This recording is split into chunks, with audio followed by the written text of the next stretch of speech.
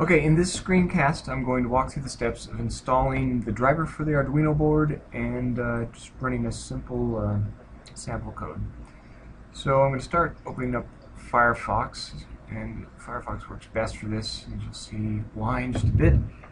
Uh, but we need to download the driver for the Arduino. So I'm just going to look for the Arduino website. Go to their home page download and the software for Windows in my case. I'll open it.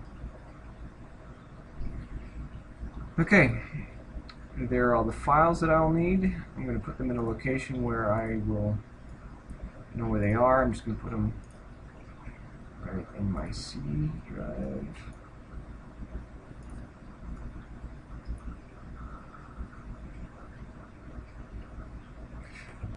Now that all the files are unzipped, we're almost ready to plug in our Arduino board through the USB port. But since uh, we're using a Ruggeduino, which is a variant of the Arduino board, we need to download their driver. So I'm going to go to the Ruggeduino.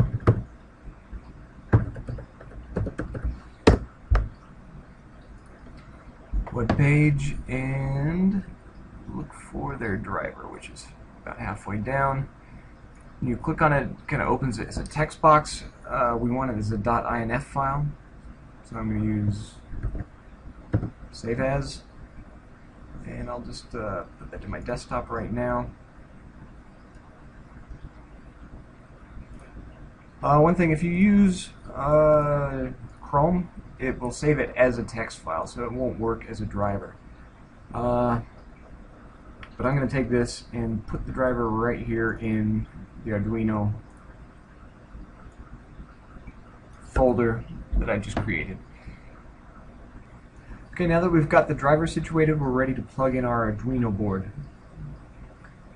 Plug in the USB cord to the computer into the Arduino, and it needs to be pointed to that driver. So I'm going to go to computer, To Properties, go to the dev Device Manager, and then we see Ruggeduino down here with exclamation mark because it doesn't know where the driver is, so just double click on it.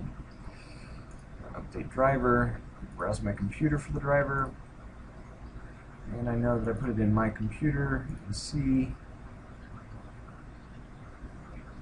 Arduino. Okay.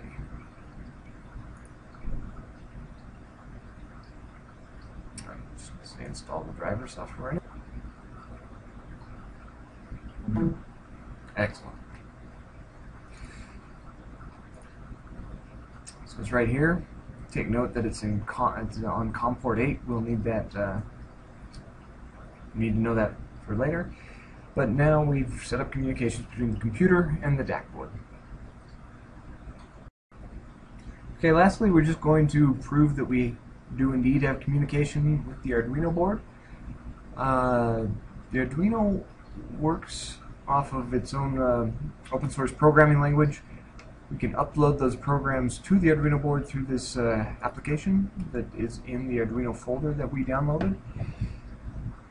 A uh, couple things. You want to make sure that the board is the right board that you're using. So we're using the Arduino, which is analogous to the Uno, so we're, we're fine there. Also, the, the serial port is the one you want, we are on COM8. So I'm just going to open up uh, one of their examples.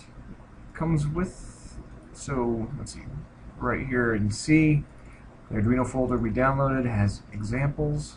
Just go to basic, blink, I'm going to open that blink.ino. So here we see basically what is going to happen each time the Arduino board goes through its cycle. It goes through this loop. All it does here is uh, put a high value to LED 13 and then wait a second and then a low value to LED 13 and wait a second. So an LED is right there, the pin is here. So basically it should just blink once every second. So I'm going to upload this to the Arduino board. There it goes, it's there. We do indeed have blinking. So uh, it's successfully communicated.